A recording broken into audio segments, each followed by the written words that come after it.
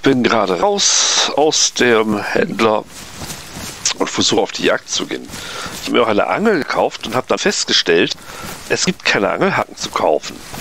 Also muss ich mir welche schnitzen, zum Beispiel aus Orientieren.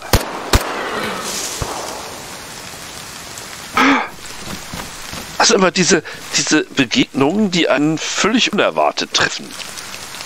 So, wo habe ich jetzt mein Messer? Habe ich überhaupt ein Messer? Ja, Gott sei Dank, ich habe eins.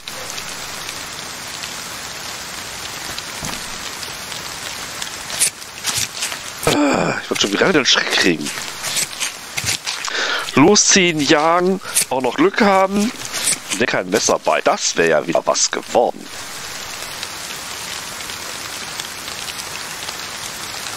So, Pelt nehme ich mit und das sind Guts, ne? Ne, Bones.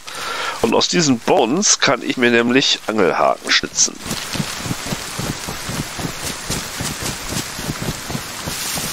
Messer kann ich aber auch wieder wegstecken. Und wo war denn noch gleich der See? Da, da ist Wasser.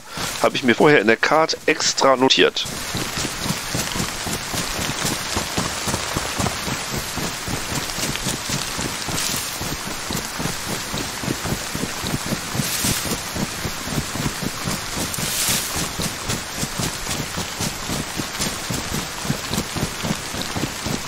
Ja, dadurch, dass ich unter anderem auch ähm, Entgiftungstabletten gefunden habe, kann ich es mir auch leisten, relativ wasserunabhängig zu sein, denn ich kann ja dank meiner Feldflasche Wasser auch jederzeit entgiften. Jetzt bin wir gespannt, ob der Tümpel hier groß genug ist, um drin zu angeln. Auf jeden Fall muss ich jetzt erstmal Bones nehmen und dann mit dem Messer so lange dran rumschraddeln, wenn ich es jemals finde, heißt das natürlich. Oh, Messer, Knochen, geht nicht. Heißt das, man kann sich keine keine Angelhaken machen oder muss ich das umgekehrt machen? Erst das Messer und dann die Bones? Aha. Carved Improvised Hook, ne? Mach mal.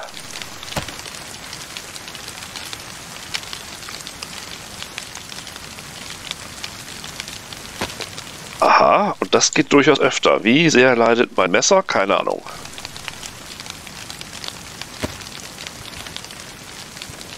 Ich werde das Messer ja auch noch brauchen, um nach Würmern zu buddeln. Oder geht das nur mit einer Schaufel? Das kann nämlich auch noch sein.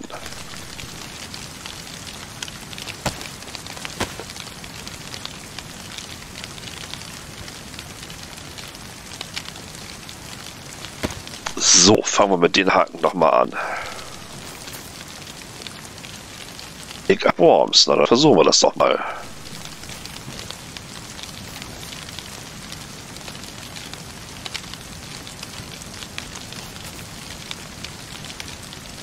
Ja, das hat eben irgendwie nicht funktioniert.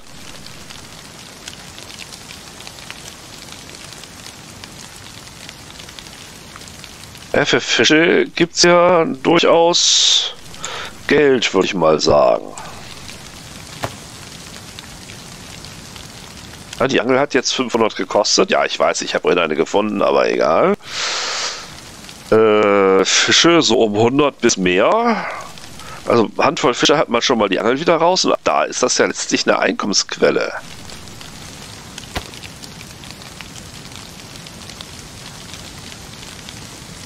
Und fischen kann man eigentlich lang und schlapp. Sea Scallops bringen übrigens immer noch irgendwie 300 pro Stück. Das heißt, ich sollte eventuell in eine Schaufel investieren, sofern eine über den Weg läuft und dabei weitersehen. Was? So, das war das. Als nächstes müssen wir Würmer auf die Hacken applizieren.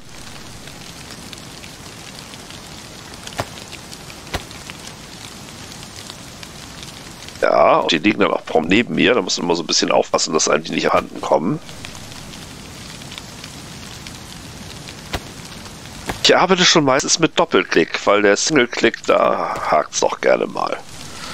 Da ist ein Wurm. Da ist der Haken.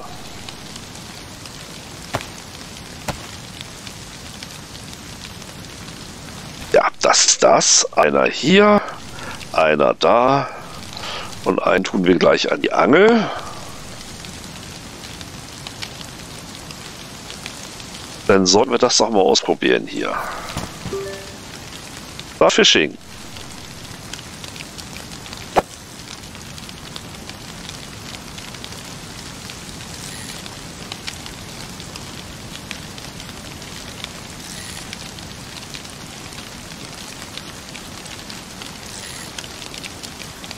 Ja, wirkt jetzt noch nicht so effektiv. Doch. Nee, nur den, Haken, nur den Wurm vom Haken gefressen. Ha!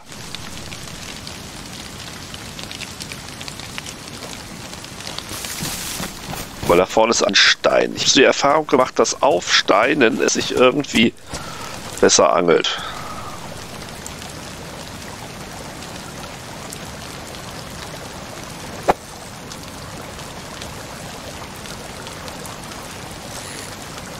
Es hier so gar nicht geht, ist ein Stück die Straße runter, äh, Straße, den Fluss runter, noch etwas.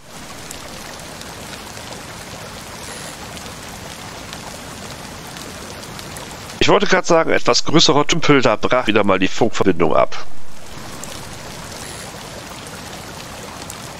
Ja, also so, Leute, so bringt das nichts, ne? Komm, ich gehe mal ein. Gehe ich wirklich einen See weiter? Ich weiß noch nicht. Ich kann mir hier mal reinstellen, vielleicht hilft das ja.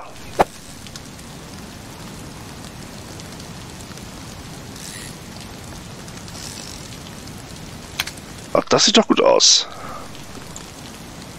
Fisch, Karpfen. Ich habe einen Karpfen gefangen. Und wir doch gleich nochmal, ja.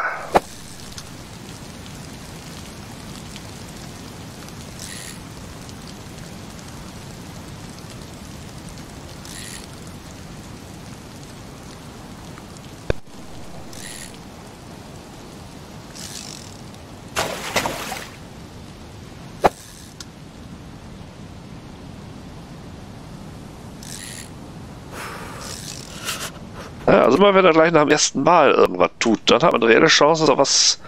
Noch ein Karpfen. Ha! Noch ein Fisch. Holen wir gleich mal mehr Würmer aus. Die Haken werden nicht ewig halten, aber das ist leider normal.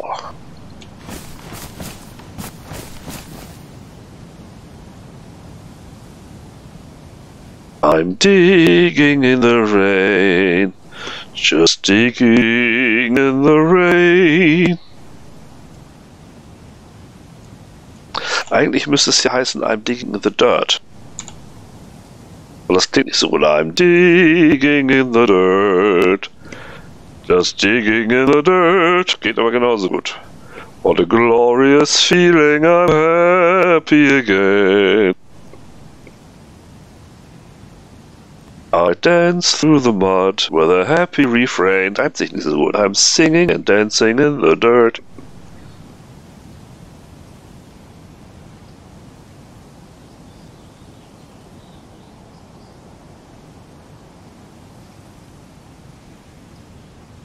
Viele Würmer brauche ich eigentlich? Gucken, also wenn die Angelei sich rechnet, ist das eine echte Einkommensquelle, ne? Würmer kann man sich buddeln, bis man schwarz wird. Ja, Fishing Hooks selber schnitzen. Da kann ich mir wahrscheinlich so ganze toll rausbasteln. Aber gucken, wenn sich das rechnet. Ich meine, wenn der Tümpel nicht aber leer gefischt ist. Da kommt schon äh, Patte bei rüber. Und man macht nicht so viel Krach, als wenn man auf äh, Viecher schießt und jedes Mal tausend Zombies und eventuell einen hungrigen Bären an der Backe hat. Mal, das Messer wird nicht besser dabei. Das wusste ich aber schon vorher.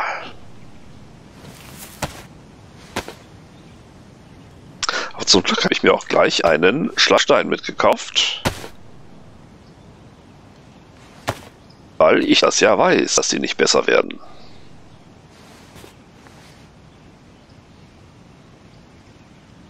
Ja, der hier ist damaged und der ist auch damaged. Also schauen wir mal. Dann zücke ich mir jetzt meine Angel. Ich glaube, ich lege sie mir auch gleich auf eine Kurzwahl. Das geht irgendwie flotter. Zum Beispiel auf die 4. Hier ist ein Gebüsch. Dahinter gehe ich so einen Schritt ins Wasser. Und ach nee, ich müsste vielleicht einen Haken erst dran machen mit Köder. Das geht erfahrungsgemäß besser als ohne.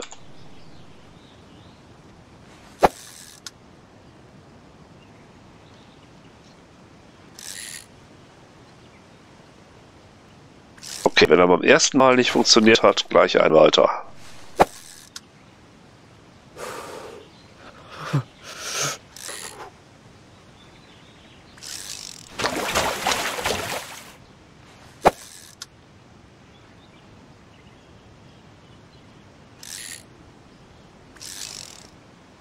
Ist er?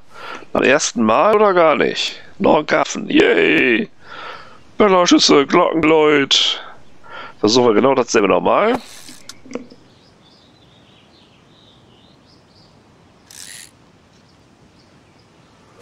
Okay, gucken wir andere Richtung.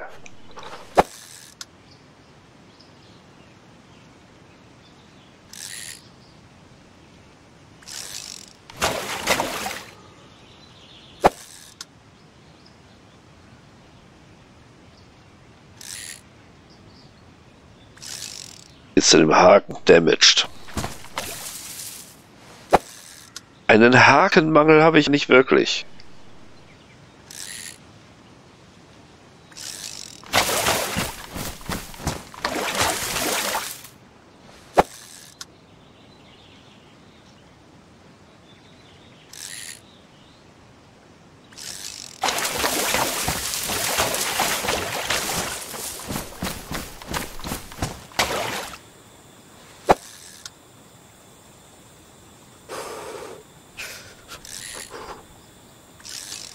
Ha!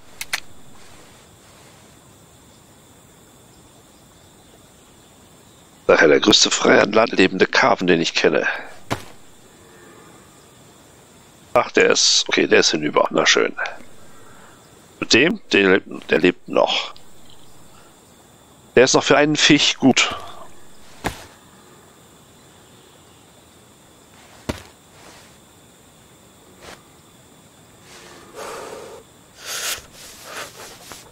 Dem Haken, Ruined.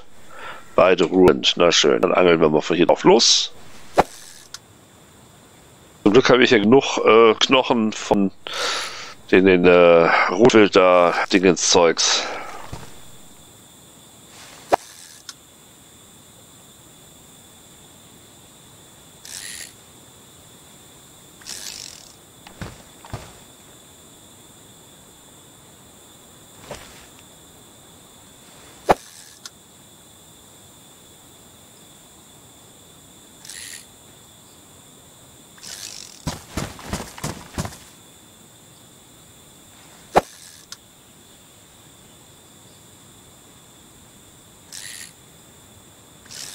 Ah!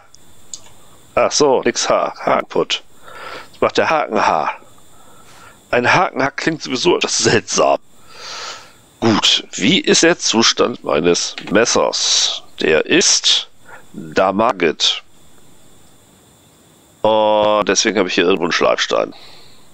Ah. Smoke Messer wieder gut. Glaube, die Repair to Pristine Mod ist noch drin. Das heißt, ich hätte jetzt ein... Oh! Repair to Pristine Mod ist offensichtlich weg. Das ist aber ärgerlich. Oder muss man jetzt mehrmals? Nein. Das ist aber wirklich ärgerlich. Hm, naja, schön. Dann ist das eben so.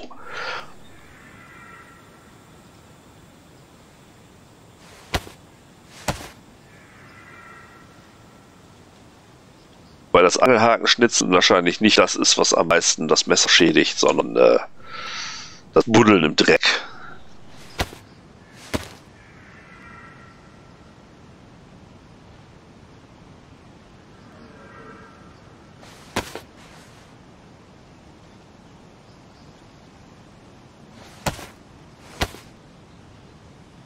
Ja, ja, ich will ganz viel angeln. Ich will natürlich mit dem ganzen Rucksack voll Fisch wieder da auflaufen. Dann mal schauen, was sie mir da Schönes zu bezahlen. Guck mal, schon wieder damaged. Dann muss ich jetzt machen, weitermachen, bis es ähm, severely damaged. Wie heißt das eigentlich noch? Hard, very damaged? Naja, unten links ne, ist ja immer ein Punkt, der den Zustand des Messers anzeigt. Wenn der zu orange wechselt, dann weiß ich, jetzt es wirklich Zeit, den Schleifstein zu benutzen. Die Frage ist natürlich auch, wenn ich jetzt... Guck mal, jetzt haben wir den orangen Punkt. Hier sammeln wir erstmal alle Haken ein, die noch gut sind.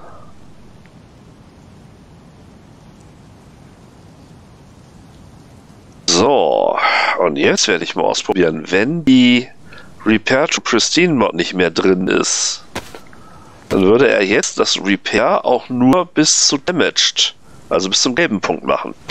Ich glaube, das macht er auch nur so ein Mist. Dann nutzt natürlich der Schleifstein entsprechend schneller ab.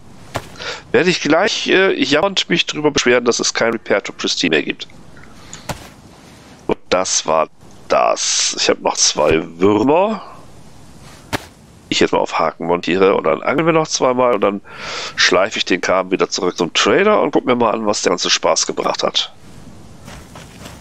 Außer Nerven.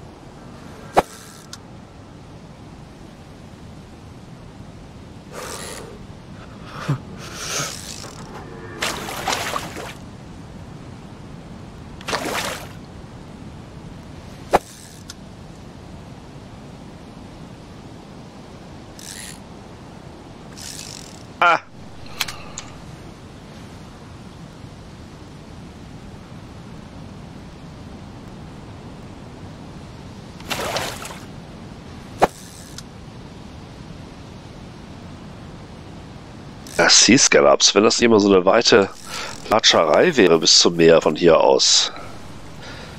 Sea Scallops, also 300 pro Sea Scallop, ist im momentanen Währungssystem echt eine Menge Geld. Mal gucken, was die Fische bringen. Da rennt man nicht so weit und wird zwischendurch vielleicht nicht gefressen.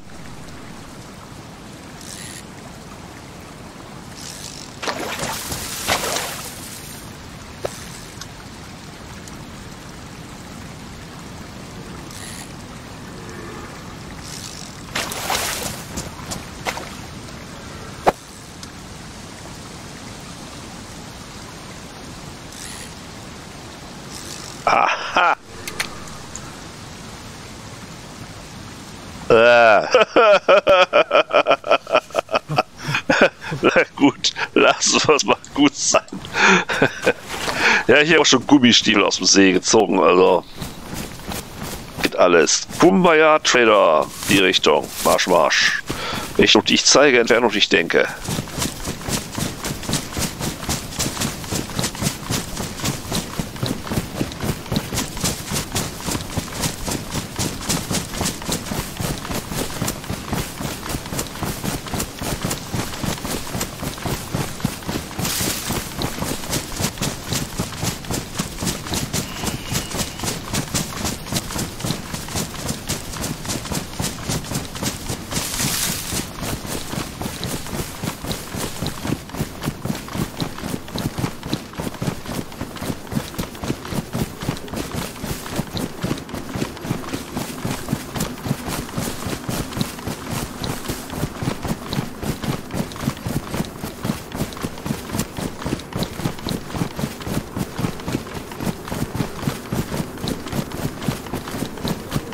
Für euch, euch eigentlich zu lesen? Die Zahlen sind kleiner geworden, ne?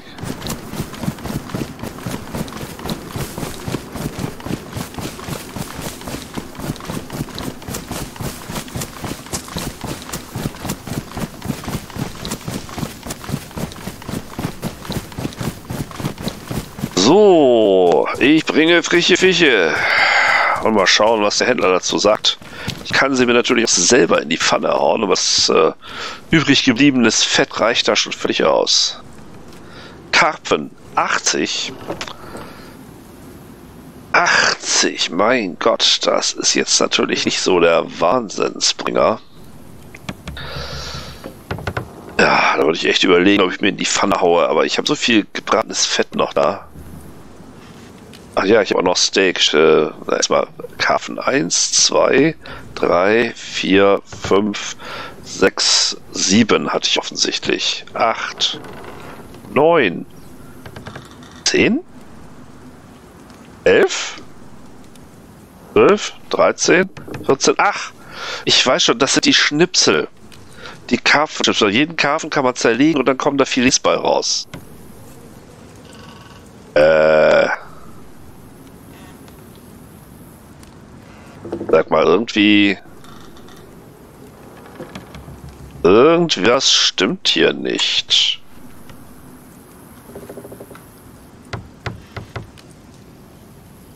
Oha, das sollte ich melden. 1, 2, 3, 4, 5. Karpfen. Ach, stimmt wirklich was nicht. Das muss ich ihm melden. Das äh, schon der Fairness halber. So, kein Spaghetti, äh, Steak. Das funktioniert, das habe ich ja schon gemacht. Ist da, ne? Und Bones, ne, die behalte ich schön.